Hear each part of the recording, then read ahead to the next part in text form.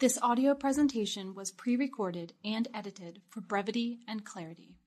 Hello, my name is Diana Campbell, and I'm pleased to be here with you for today's macular chat.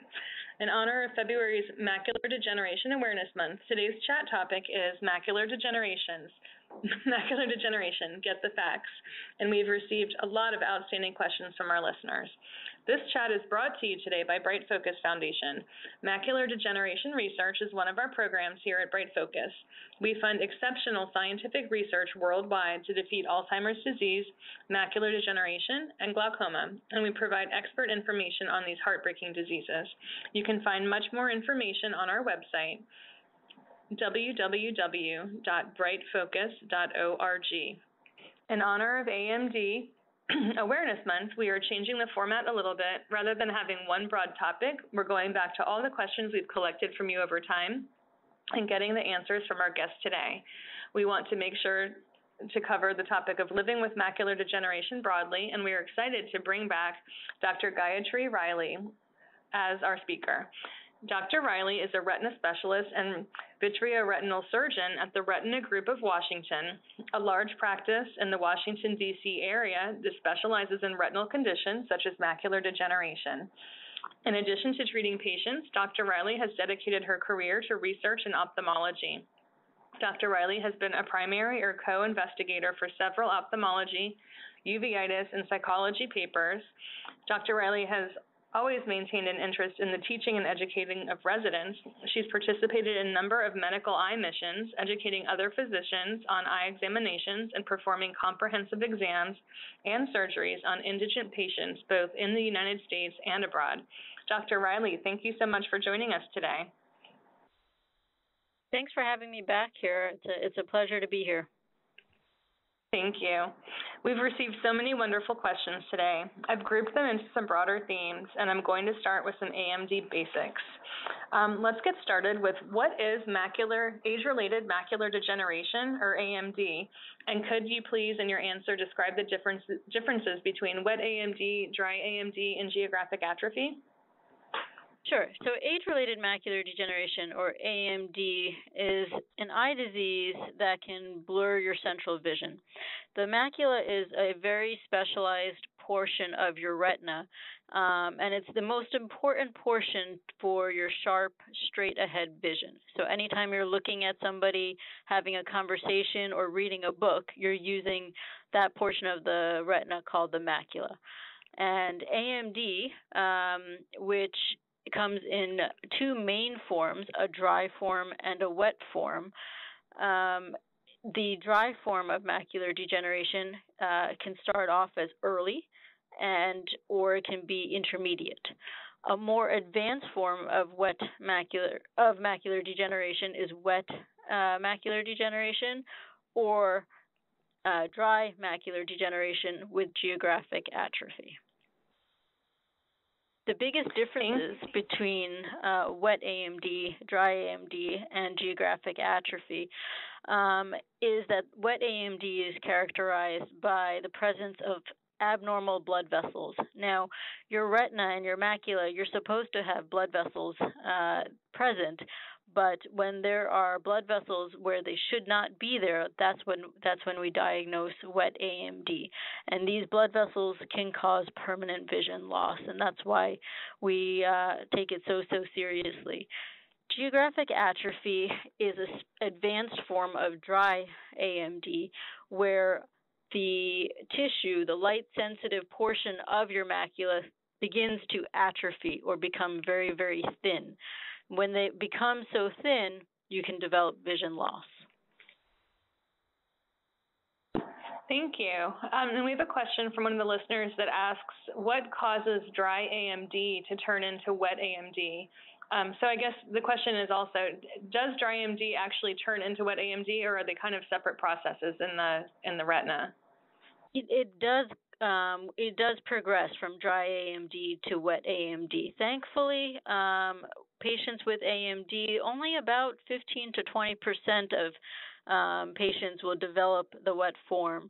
Now, we don't know exactly what um, can cause the transformation from dry to wet, but once you develop wet, we will be seeing the presence of these abnormal blood vessels that I was talking about earlier.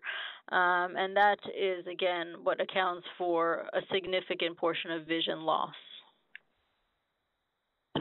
If a patient has dry AMD, um, and we'll go into this a little bit more later, but outside of geographic atrophy, there aren't um, treatments outside of vitamins for dry AMD. What doctor should be monitoring their process? Um, and how how often should one see either a retina specialist versus a regular ophthalmologist if this is the case? Um, that's a great question. Uh, uh, most of the time, a regular general ophthalmologist can uh, manage dry AMD. Uh, we typically recommend um, follow up about every six months, and most of that visit is sort of discussing what we'll talk about a little bit further in this call, things like vitamins and and signs and symptoms to look out for um, in order to uh, again er, detect uh, a change to wet AMD sooner. Depending on where you live, there's sort of um, a little bit of a geographic variance in, in this answer. In, in my area, in the Washington D.C. area, there, there's just so so many retina specialists in this area that frequently patients are, are followed by retina specialists, but regular general ophthalmologists do a terrific job of managing dry AMD. Wonderful. I think that's an important point to make. Um, I know that it's difficult in some areas to find retina specialists. Um, is macular degeneration hereditary? It is, and um, I wish it was as simple as uh, you know, uh, you know, having one gene or something of the sort. But macular degeneration is very hereditary, and one of the first things that I'm counseling patients uh, about with this diagnosis is, you know, it, we definitely want to have a family discussion regarding this diagnosis because um, it is definitely hereditary. Thank you. Um, I know that there has been confusion in some conversations that I've had um, of the difference between dry eyes and dry AMD. Um, but a step beyond that, does having dry eyes contribute at all to getting macular degeneration? No. So thankfully, um, dry eyes has no increased risk um, or any sort of relationship with dry AMD. Great, thank you. Um, we've got a listener who says that they get large flashes of blue light and floaters. Are those related to macular degeneration? Those are concerning symptoms. Uh, flashes and floaters are something we'd like you to make sure you do get evaluated with either um, your general ophthalmologist or a retina specialist, but they are typically not symptoms that are related to AMD at all. Thank you. Um, if you have AMD in one eye, what are the chances your other eye will be affected? So typically, like we talked about, uh, most patients have what starts off as dry AMD, and it's typically a bilateral condition. So it's very, very um, uncommon for me to diagnose AMD in only one eye. So it is almost always um, a bilateral or involving both eyes um, at diagnosis. And I think it bears saying that um, that people could experience one form in one eye and the other form in the other eye. Is that accurate? Yeah, um, absolutely. You know, each eye can have a completely different um, course of uh, macular degeneration and different forms of macular degeneration. You can have one eye just being um, dry macular degeneration. The the other eye can can have wet macular degeneration, but typically, at least at its kind of core, uh, AMD is considered a, a bilateral or both eye condition. Great. Um, what percentage of people with AMD go completely blind? That's a, a really, really good question. Um, thankfully, um, it, it's going to be less than 1% because AMD, like I started off explaining, it impacts a very one area called your macula. So your entire retina is in charge of your vision, and um, AMD does not tend to impact your peripheral vision, which um, is still very, very important for um, everyday life. So patients with AMD typically do not go completely blind. Um, at, its worst, and it is still very, very serious and significant, um, they can lose central vision, but they do not tend to go completely blind. That's reassuring. Um, can macular degeneration be reversed? Unfortunately, no. Um, complete reversal of macular degeneration is not typically something that we have any um, means of achieving. However, it can be stable. So, it, you know, while it is a degenerative condition, the rate of degeneration is so so variable per patient and even per eye, and so there, it's definitely possible that you know in in a 10 year period of time that there be be no change for a given patient. So it's not typically reversible in the sense of just diagnosis, but um, it doesn't necessarily need to progress quickly. Great. We just got a question in that is kind of the perfect segue um, into the next set of questions, which will be centered around diet and lifestyle. Um, the question was, what did children of AMD patients need to do to prevent AMD? Um, and the first question that I had for us is, are there dietary or lifestyle measures one can take to delay or prevent macular degeneration? Yeah, so what I usually tell um, family members of patients who have uh, a diagnosis of AMD is that the best possible things that you can do is, is really just take care of your overall health.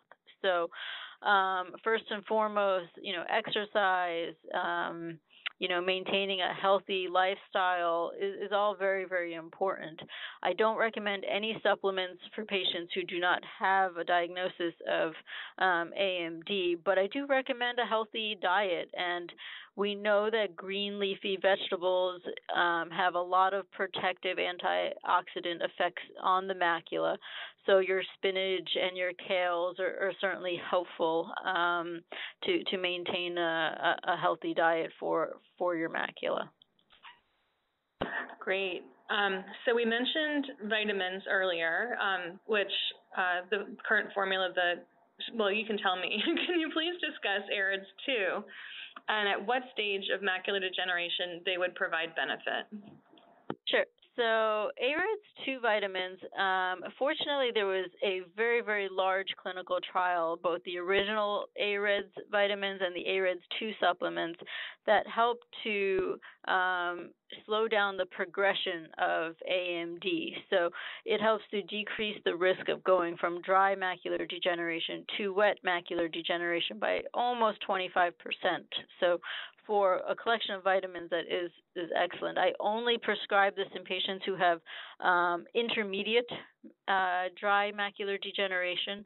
So if uh, your if your if your doctor has diagnosed you with dry macular degeneration, it is important to ask ask what um, stage you have and whether you would um, benefit from taking uh, these supplements. Um, the AREDS 2 vitamins uh, inc- include vitamin C, vitamin E, copper, zinc, lutein, and zeaxanthin. The last two are antioxidants that were added um, in the AREDS 2 supplements that have been proven to help um, decrease the, the risk of uh, wet macular degeneration. And I assume that if um, if the patient has one eye that is already wet, but that other eye is still in the intermediate stage, that they they would likely continue taking the AREDS um, until the other I, eye has any changes? Yes, I do. Um, I, I do recommend that they continue to take it, and I, I explain it to my patient just like you just mentioned, is that we're really trying to decrease the risk of um, the wet macular degeneration in, in their better eye. We don't have any good proven benefits once um, a patient has more advanced forms of macular degeneration. So I do primarily um, recommend the, the vitamins for intermediate dry. And just to reiterate what you said previously, this isn't something that the children of folks who have macular degeneration should go out and start taking. It's really effective once they've um, been diagnosed with intermediate dry. Correct. Yes, I don't recommend any supplements prophylactically. In fact, the AREDS 2 clinical trial actually looked at exactly that group of patients, um, patients who um, either did not have uh, a diagnosis of macular degeneration or had only early uh, dry macular degeneration and it was found to be of no benefit. But you know, I think that so just like any other supplement, it's a if you have just a healthy diet, you you can pretty much be obtaining very much of these same ingredients in just a, a very normal, um, healthy diet. Great. Um, we receive lots of questions all throughout the year um, on other supplements that uh, you know that people have heard about from others with macular degeneration or seen about online. Um, I'll, I'll, name a few, but the, the, broad question is, are there any other supplements uh, that are helpful that may prevent or delay the progression? And the ones that we get questions about frequently are fish oil, omega-3s, chrysanthemum tea, um, goji berries, I think is more an actual fruit than a supplement, but I, I imagine they're supplements too. Are any of these helpful to prevent or delay the progression of AMD? No, uh, so um, a couple of those that you had mentioned were also uh, studied in clinical trials to see if they were should be included in in the AREDS two supplements, specifically um, omega three fatty acids, um, and it was not found to um, give additional benefit from it. They now, in general, a lot of these um, additional things that you've mentioned have other impacts that are, are positive for your body. So, um, you know, not specific to AMD um, precisely, but you know, things like fish oils and, and omega threes have a lot of benefit to the eye in terms of dry eye and, and other conditions, but not specific for the delay of the progression of macular degeneration. Thank you. And just a reminder to everybody listening, um, as you're taking or considering taking other supplements, please make sure to mention them to your doctor as well, as, as supplements can also interact with other things. Um, and I always get nervous when I hear people saying, I'm taking this large dose of chrysanthemum tea or something like that. Um, so please make sure to mention that um, to your primary care physician or your um, eye care specialist as well. Um, let's see. along those same lines, we talk about incorporating colorful foods to our plate. You mentioned spinach and kale um, to help in protecting against AMD. One of our listeners has a pretty specific question and would like to know if it makes a difference if the vegetables are cooked or raw. Um, is there any increased benefit in cooking them, or is the benefit decreased if they're if they're cooked or overcooked? Honestly with my patients i'm just happy that they're taking them uh, that's part of their diet you know it, it, as long as you're fairly consistent. In general um, cooking some vegetables you can lose a little bit of some of the nutrients in particular um, vitamin c and b but um, not to an extent that it would make it not worthwhile to continue. It's just any water soluble vitamin um, tend to get tends to get lost during cooking uh, methods. But um, you know, I, I usually just tell my patients that um, you know if you can have a, a little bit of both, but really just if you're thinking about this level of detail, then you're on the right track already. I like your advice that you're that you're happy that they're they're incorporating them at all. Um, while we're on that topic, we literally just had a question about saturated fats. Um, does eating saturated fats um, harm the eye? Saturated, having high levels of saturated fat um, is definitely a negative uh, for macular degeneration. Um, again, going back to one of the first questions you said about things that you know people can do about just just having being healthy, um, having less saturated fat um, in general is, is very beneficial for your overall health, um, which you know, from what we understand of macular degeneration is also very helpful. So, um, you know, just having a high diet of saturated fat, you're going to have higher levels of, you know, cholesterol and and um, you know th- those types of things in general are, are pretty negative uh, for for your overall health. Sure. Um, okay, we're going to transition into some other lifestyle questions. Um, how much does smoking affect AMD? Smoking is one of the biggest things I talk about with patients um, with AMD, and and I always kind of cringe because I know I know my patients have heard this from you know primarily every doctor that they see if they are a smoker, but smoking causes changes in the eyes that absolutely can cause cause vision loss. You're you're more than it's sort of an exponential relationship. So you're more than twice as likely to develop AMD if you're a smoker. And then eh, on top of that, the the prognosis and and eh, the the likelihood of developing more advanced forms of AMD are, are way way higher. So it's you know from my from my perspective it's one of the most major modifiable risk factors for AMD and um you know like I said I always kind of this is the one thing I take the most time in talking about with patients who are smokers because I know they've heard it before and I'm sure they're doing um, what they can to quit, but eh, this this is the one thing that really can really save your vision is if you quit smoking. I've learned to ask recently um, because of the availability of so many different types of um, smokeless nicotine and that sort of thing. Um, is it the nicotine? Should people avoid nicotine as well, or is it the tobacco um, or the effect on the lungs? Uh, is uh, just a little step further on the smoking. Sure. Um, you know, and I, I don't know that we know all of the, the details of, of breaking that all down, but we do know that um, the that having the both the nicotine and the tobacco causes a lot of infl- inflammation in our body and it's really that inflammation that um, we worry about when it comes to macular degeneration. So, um, when you know, we, will talk a little bit later on in this call about um, you know where the research is, and a lot of the research is in exactly that to decrease inflammation. So, both smoking cigarettes and even you know other tobacco lists or tobacco, all of that stuff still is a, is still a, a high risk factor. Whether it's you know slightly better than you know a regular cigarette, probably, but it still causes inflammation. Absolutely. No, thanks for clarifying that. Um, I think that makes a lot of sense. Um, the next question is about alcohol. Is there a relationship um, between alcohol and AMD? Should people be looking to limit their alcohol intake as well? Um, there's been found no no significant impact to light alcohol use, and, and just like everything else that we we tend to counsel patients just in moderation. There's been no um, significant impact to more advanced forms of AMD. Um, you know, things out of those norm, norms, more of a moderate or heavy alcohol consumption um, does increase your risk of early AMD. So I think in moderation, um, uh, a small amount of alcohol consumption is fine. Great.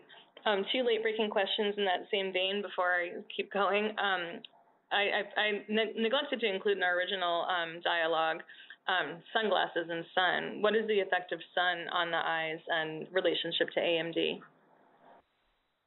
The sun, that's definitely a good question. Um, exposure to sun is definitely a risk factor for um, developing AMD, and, and that's why we do see some um, population differences between um, Caucasians and African Americans because of also their their sensitivity, their skin sensitivity to sunlight as well. So, um, in in general, we do uh, recommend just wearing um, UVA, UVB per sunglass protection. Um, you know, when you're out in the sun, you don't need anything particularly um, you know, uh, expensive like polarized and things like that. Just your reg- regular um, UV protection is is beneficial to protect your eyes. Okay, and then the other one was poor sleep. Do poor sleep habits or insomnia, other sleep disorders have an effect on AMD? So not directly. Um, nothing that we know would be a direct impact, but that kind of goes back to um, your overall health again. You know, if you have poor sleep hygiene and poor sleep habits, or you have sleep apnea, all these things in general um, tend to impact your health after a while, and um, that can you know sort of indirectly uh, impact your your AMD, but nothing directly. Great, thank you. How about screen time? does does screen time affect um, AMD? Nope. Um, so screen time has a whole lot of negative um, impacts to your eyes, as unfortunately we've all probably uh, struggled with over the course of our um, lives. But um, it will not cause or worsen um, dry or wet AMD. Okay. Uh, the next question is related to cholesterol and drusen. Um, so are drusen in the eye the result of high cholesterol levels? Um, and a kind of tandem question to that is what is the cause of drusen? Um, and then following that, can lowering LDL or other cholesterol levels slow the progress of early stage dry AMD? And finally, do statins have an impact on AMD at all? Um, these are really, really good questions. Um, they've been sort of studied over the past five years. Initially, there was some suggestion that potentially high, high dose statins, which um, are in general very difficult for patients to tolerate uh, due to side effects, may have a protective role. However, um, more recent studies have shown that um, the statins have not had an impact on AMD. So I don't have a black and white answer on this. All I can sort of say is that research continues to um, look at this very question because uh, it is a rather fascinating portion of the disease. Um, drusen, in the first part of that question, drusen I guess I wish we knew exactly where drusen formation came because it would be something wonderful that we could target. It is actually a normal and natural response to aging. So even if you had, um, you know, just as we get older, your your eye does um, form drusen. However, when you don't have AMD, the natural mechanisms in your macula are able to get rid of drusen. So they're just sort of natural byproducts that tend to be um, eliminated just by normal natural function. But in a condition like AMD, for a variety of reasons, these byproducts start to collect um, within the macula. All right, thank you. Um, so, are there other medications? Are there medications that affect um, either onset of AMD or um, interact, you know, regarding treatment of AMD. I know we've um, received a few questions about blood pressure medications and whether they contribute to the onset. Um, but could you just generally mention if there are medications that, that people should be aware of that interact in some way, either with onset or treatment? Um, no, not really. I mean, we do we do kind of review all the patients' medications with them, but there's not particularly uh, medications that patients need to be wary about um, when it comes to AMD. Now, going back to the idea of just having um, your overall health uh, under good control, we do know patients. Um, I always do talk about patients' blood pressure control and, and in a more positive way. So I, I want their blood pressure to be as well controlled as possible, um, whether you know what it's with uh, with medication um, or however they've discussed with their primary care physician. But uh, there's nothing in particular that um, I kind of look out for that might be more negative for AMD. Great, thank you. Um, are there any corrective glasses for macular degeneration? Um, that's a question I get every day. Um, so that's a really good question for sure. Um, so the best analogy, and I hope this analogy still holds for a few more years, is that your eye is very much like um, an old school camera. So the macula is really the film of that camera. And so if you put a new lens on that camera, you, but the film is damaged, you still don't get these photos to come out. And it's the same kind of answer that corrective glasses um, really does not, don't really change your, your vision with macular degeneration. Now, we always want your vision to be as good as possible, and that definitely involves having um, corrective glasses. But if there's damage to the macula because of macular degeneration, glasses will not be able to compensate for that. Thank you. Um, we're going to switch over into monitoring and treatment um, at this point. Um, and I'd like to start with um, geographic atrophy because in the past year, um, as, as, many people on the call know, but we get a lot of questions about this, um, two, two, the first ever treatments, and there's two of them, were approved for geographic atrophy, and they're now available. Can you please discuss um, who is a candidate for these treatments and what should be taken into consideration when making a decision to undergo treatment. Um, they do differ a lot from the injections, obviously, for um, wet AMD, and that's a big question, if you could kind of address that. Um, let's just start there.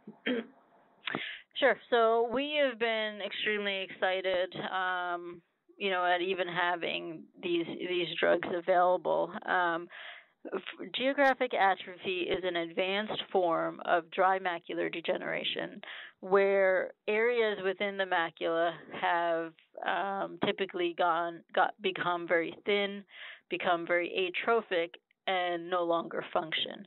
Now, these these areas of thinning or atrophy can very, very slowly increase year over year.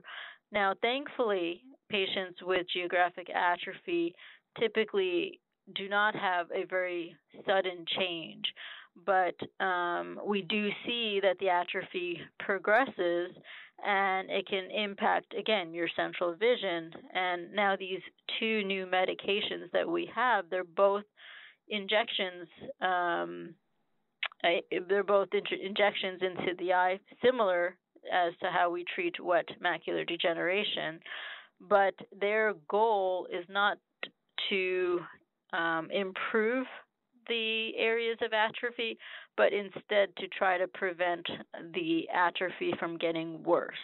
So um, that's really how these drugs are being used clinically is to you know unfortunately we currently don't have any way to um, make these atrophic areas go away or completely just not develop but these two new medications um, have been found to slow down the growth of the atrophy so I've heard in discussions with patients, people say things um, such as, well, I tried the injections for geographic atrophy, but I didn't notice any difference, so I stopped taking them. Um, so I just wanted to, to point that out and, and highlight what you said about um, kind of slowing down progression uh, and managing expectations, I think, and understanding what the, what the treatments are for. Yeah, absolutely. So, you know, it, it is really different um, than any other drug that we tend to use as retina specialists, and it involves a lot of conversation. Um, and and I don't mean this in a light way, but if my my my patients should not notice a difference by getting this medication, that means that the medication is actually working. So, it's hard to take a medication, um, you know, when when you can't really recognize the benefit, right? But we do it for other things. You know, you don't you don't notice if your blood pressure was 140 over 80 versus 120 over 80 but we know there's so many benefits in in your blood pressure being 120 or and you know under 120 over 80 so we we do things prophylactically in that respect and and sort of sort of the same light is that you won't um, notice an improvement um, in your vision but we are trying that's our goal. We're trying to prevent this atrophy from getting worse because if it does get worse, you will unfortunately notice a vision change. Thank you for that. It reminds me of the conversations about glaucoma as well. you just have to yes. trust that you know something yes. for your eyes. so much of this is really just a, a, trust and an open conversation with your with your treating physician, right? Because um, you know sometimes we take for granted that we understand that the you know that the patients know what we're doing or why we're doing it, but every so often we're all humbled and and we kind of recognize like let's just take a step back and you know let's let's talk about why we're doing this and and you know my expectations and your expectations. Thank you for mentioning that doctor-patient relationship too. That's so important um, and, and critical, I think, to, to people adhering to their treatments or understanding why they're doing them. So I appreciate that. So aside from these new um, geographic atrophy treatments, could you discuss some of the other, and I'll kind of quote unquote is how I put it, newer treatments? There have been some other innovations and um, drug approvals in the wet AMD side this year, or in the past, you know, year or two, um, yeah. such as and Eylea. Could you kind of go over those a little bit and how they differ from the original standard of care? Yeah, so we've been also fortunate in wet macular degeneration um, and having more options. You know, we traditionally had you know, at first just one medication, and then we had two medications for another five years, and and then we only had three medications for the better part of maybe 15 years. So, you know, to have two new medications in relatively a you know one to two year span is is a huge difference for us, and um, you know, it's just more tools in your tool belt. The the difference between these two medications um, is that they are expected to do the same, having the same benefits, meaning um, treating the wet macular degeneration um, just as successfully as the other medications, but potentially with less frequency. So, um, medications in the eye for these injections that I've been alluding to again, these are treatment for wet macular degeneration because we don't have a cure for it. So when the medication wears off, you need to get your medication again. And so for some of the earlier medications we used, these injections would unfortunately wear off um, after four to maybe six weeks. These newer medications um, are have been clinically uh, proven in, in clinical trials to last longer. So that can decrease the just the burden for the patient and you know having family members to come in every single month. There's a lot to having these appointments um, monthly. And um, these these newer medications have a potential for uh, being used less frequent frequently now, I, I kind of emphasize the potential because um, not everybody's wet macular degeneration is exactly the same, and, and clinical trial patients are, are definitely different than um, somebody who's been treated with wet macular degeneration for 15 years. And so it's definitely a good dialogue again with your treating physician of hey there's these medications do you think these medications are a benefit for me why or why not, or what do you think that they could do for me, or potentially why don't you know why they may not be helpful for me. Along those lines, um, you mentioned patients who have been in treatment for a long time. We just got a question as you were talking um, about, well, the question is, will wet AMD get worse the longer you have it, even if you get the injections? So our primary goal, and we are fairly successful in achieving that goal, is maintenance. So it's very difficult with wet macular degeneration to get improvement, but we are rather successful uh, to create stability and to create maintenance in that the wet macular degeneration should not continue to get worse um, long term. Thank you. Um, we always get a lot of questions about red light therapy or photobiomodulation. Um, and I know there is a slight difference in what's going on in Europe and here. Could you talk a little bit about that or if it is something that's being considered for use in the United States? Um, so there is a U.S.-based clinical trial looking at the, the red light um, therapy, and and the the goal of what um, the red light therapy is is to try to decrease the rate of progression of the intermediate AMD to um, geographic atrophy. So um, the in the UK, they were able to find that um, patients had a, a, lower rate of geographic atrophy in the eyes that were treated, but it was it's still very very early in in both clinical trial and in clinical practice um, and then in the U.S., it's been a fairly uh, limited um, clinical trial that was looking at uh, using using this. But right now, um, it is sort of it is sort of promising in um, uh, decreasing the rate of geographic atrophy progression. So we will definitely continue to keep tabs on that. Um, and my final questions are sort of um, in a similar vein.